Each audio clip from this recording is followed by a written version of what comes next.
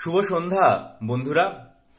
আজকের দিন থেকে আমি ডাব্লিউবিসিএস পরীক্ষা দু হাজার একুশ সালের প্রিলিমস, যেটা অনুষ্ঠিত হতে চলেছে আগামী কয়েক মাসের মধ্যেই, সেটার জন্য মক টেস্ট নেওয়াটা শুরু করলাম।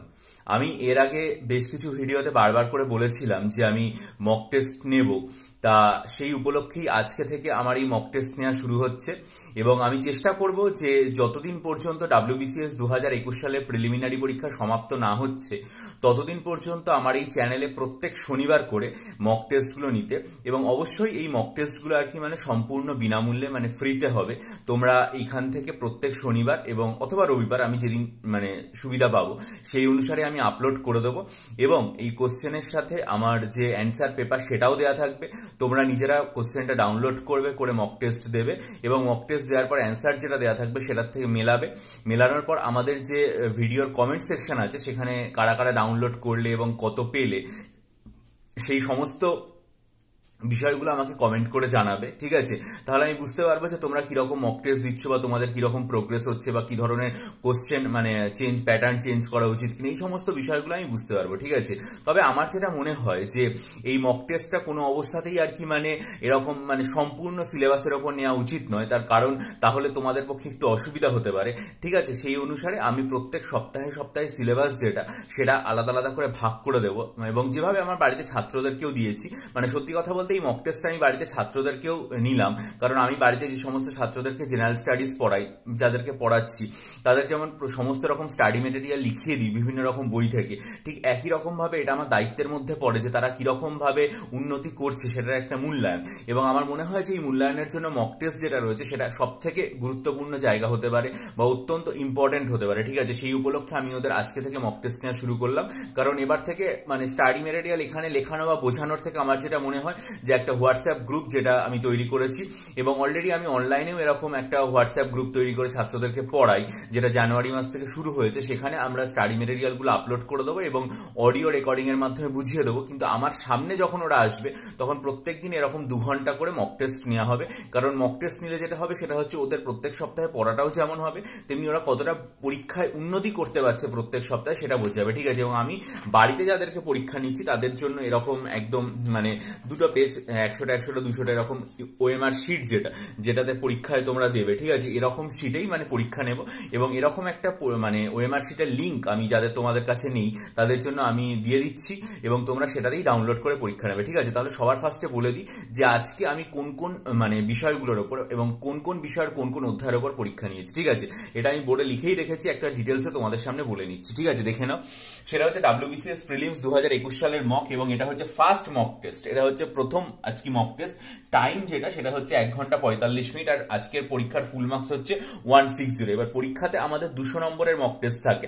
কিন্তু আমি দুশো নম্বরের কোশ্চেন করিনি, আমি ওয়ান সিক্স জিরো মার্কসের করেছি। সেই হিসাবে দেখলে টাইম দেওয়া উচিত হচ্ছে দু ঘণ্টা সময় দেওয়া উচিত। কিন্তু যেহেতু আমার মনে হয় যে ছাত্ররা যেহেতু আমার কাছে বাড়িতে পরীক্ষা দিচ্ছে এবং তোমরাও যেহেতু ভবিষ্যতে মানে বাড়িতে পরীক্ষাটা দেবে, সেই হিসাবে কিছুটা সময় কম নিয়েই পরীক্ষাটা দেওয়া উচিত। ওই জন্য আমি ওদের এক ঘণ্টা পঁয়তাল্লিশ মিনিট টাইম দিয়েছিলাম। এবং যে যে মানে সাবজেক্টগুলোর উপর আমি পরীক্ষা নিয়েছি, সেটা হচ্ছে Indian national movement Indian national মুভমেন্টে বঙ্গভঙ্গ, স্বদেশী আন্দোলন, বৈপ্লবিক আন্দোলন, ভারতবর্ষের অভ্যন্তরে এবং ভারতের বাইরে, যেটাকে আমরা সংগ্রামী জাতীয়তাবাদ বলে থাকি। আইএনএম বঙ্গভঙ্গ, স্বদেশী আন্দোলন, বৈপ্লবিক আন্দোলন, ভারতবর্ষে ও ভারতের বাইরে। দু নম্বর হচ্ছে ইন্ডিয়ান হিস্ট্রি এটা হচ্ছে সিন্ধু সভ্যতা এবং আর্য সভ্যতা। জিওগ্রাফি যেটা, এটা হচ্ছে ভারতবর্ষের পুরো ভূপ্রকৃতি মানে একদম হিমালয় থেকে শুরু করে ভারতবর্ষের যে দ্বীপ রয়েছে সেগুলো পর্যন্ত। পলিটি যেটা রয়েছে সেটা হচ্ছে সংবিধানের গঠন মানে হিস্টোরিক্যাল ব্যাকগ্রাউন্ড একেবারে রেগুলেটিং অ্যাক্ট থেকে শুরু করে ভারতের সংবিধান যে কার্যকরী হলো উনিশশো পঞ্চাশ সালে ছাব্বিশে জানুয়ারি থেকে সেই দিন পর্যন্ত কীভাবে ধাপে ধাপে সংবিধান গড়ে উঠেছে, কারা সংবিধানের বিভিন্ন কমিটিতে ছিল, সেই সমস্ত সংবিধান তৈরি করতে কারা সাহায্য করেছিল, বিভিন্ন রকম প্রভিন্স থেকে কি রিপ্রেজেন্টেশন ছিল সেগুলো। তারপরে ইকোনমি ইকোনমি যেটা রয়েছে সেটা হচ্ছে অর্থনীতির প্রথম ভাগ, অর্থাৎ ভারতীয় মানে অর্থনীতি কোন ধরনের অর্থনীতি অর্থনীতির কতগুলো ভাগ হয়? গণতান্ত্রিক অর্থনীতি বা সমাজতান্ত্রিক অর্থনীতি, মিশ্র অর্থনীতি বলতে কি বোঝায়? ভারতবর্ষ কোন ধরনের অর্থনীতির মধ্যে পড়ে? তারপরে হচ্ছে ওপেন ইকোনমি ফ্রি ইকোনমি বলতে কি বোঝায়? Agriculture economy agrarian economy industrial economy যেটা রয়েছে সেটা কোন ধরনের ইকোনমি গ্লোবালাইজেশন কি? এই যে অর্থনীতির একদম প্রাথমিক ধারণাটা হিউম্যান ডেভেলপমেন্ট ইন্ডেক্স ঠিক আছে? অর্থাৎ ন্যাশনাল ইনকামের আগে পর্যন্ত। অর্থনীতির একদম প্রাথমিক ধারণা ন্যাশনাল ইনকামের আগে পর্যন্ত এইটা। ফিজিক্স ছিল হচ্ছে ডাইমেনশন এবং মানে মাত্রা এবং বিভিন্ন জিনিসের একক যেগুলো রয়েছে সেটা। কেমিস্ট্রি যেটা ছিল সেটা হচ্ছে অ্যাসিড, ক্ষার এবং লবণ। বায়োলজি ছিল হচ্ছে পুষ্টি বিভাগ পরিপাকেই। আর তার সাথে আমি জেনারেল ইন্টেলিজেন্সের কোশ্চেন ছিল ম্যাথ ছিল এবং ইংরেজি, এই তিনটা জিনিসও ছিল। এগুলোর তো সেভাবে নির্দিষ্ট কোনো সিলেবাস হয় না, কিন্তু আমি আর কি মানে সিলেবাসটা দিয়েছিলাম জিআই ইংলিশ এবং ম্যাথ ঠিক আছে? এই হচ্ছে আজকে আমাদের ওভারঅল মক টেস্ট এবং আমি, আমার এই ভিডিও হচ্ছে ডিসক্রিপশন বক্স রয়েছে, ঠিক আছে? ওই ডিসক্রিপশন বক্সে এই কোশ্চেন যেটা আমি করেছি, অবশ্যই একটা কথা বলা যে এই কোশ্চেনটা কিন্তু আমার নিজের হাতে লেখা, ঠিক আছে? পুরোপুরি আমি হাতে লিখেছি এবং আমার মনে হয় যে তাতে তোমাদের কোনো সমস্যা হবে না, কারণ এর আগেও তোমরা আমার হাতের লেখা প্রচুর দেখেছ এবং তোমাদের সমস্যা হয়নি। সেই হিসাবে আমি আমার যে ডিসক্রিপশন বক্স থাকবে, সেই ডিসক্রিপশন বক্সে মানে তিনটে জিনিসের লিঙ্ক আমি দিয়ে দিচ্ছি, ঠিক আছে? নাম্বার ওয়ান কোশ্চেন একশো ষাটটা কোশ্চেন সেটা লিঙ্ক দেবো। নাম্বার টু অ্যান্সারের লিঙ্কটাও দিয়ে দেবো।